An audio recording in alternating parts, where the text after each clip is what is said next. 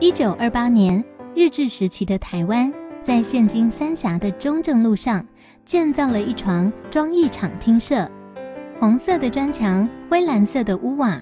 在当时号称是全台最美丽的办公大楼。